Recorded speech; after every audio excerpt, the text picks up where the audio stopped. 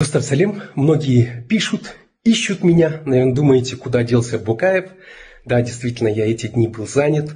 Сейчас вот прохожу летнюю школу для управленцев, учусь менеджменту. Что касается моей страницы в Инстаграм и Фейсбук, они были взломаны, они были удалены. Вот вообще мы вступили в период какого-то политического блэкаута. В стране говорить правду становится сложнее.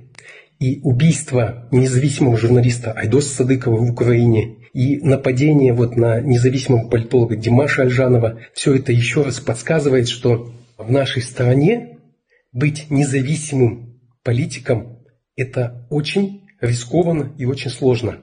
Я приношу свои соболезнования семье Айдос Садыкова. Это был настоящий профессионал своего дела. Но многие люди всегда писали, что это человек власти, что он подставной, что вот он работал на госслужбе, в Акимате и прочее. Пока не случилась эта беда. Но почему в нашей стране хорошие говорят только, когда уже поздно, когда уже человека не стало?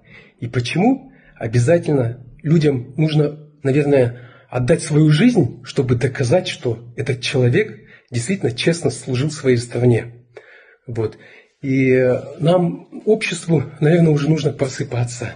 Наверное, лучше слушать, а, анализировать, понимать и видеть все ситуации, которые происходят – вокруг нас.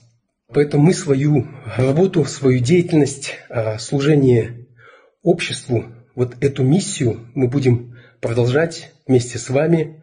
Поэтому те люди, для которых ценна та информация, которую мы несем, для которых важна вот та общественно-политическая работа, которую мы проводим, я прошу поделиться этим видео, пусть подписываются на новую страницу. Для меня это всего лишь инструмент – Поэтому я буду и дальше служить своему народу, вам, уважаемые мои сторонники, наши подписчики. Поэтому я буду с вами на связи в Инстаграм на этой странице.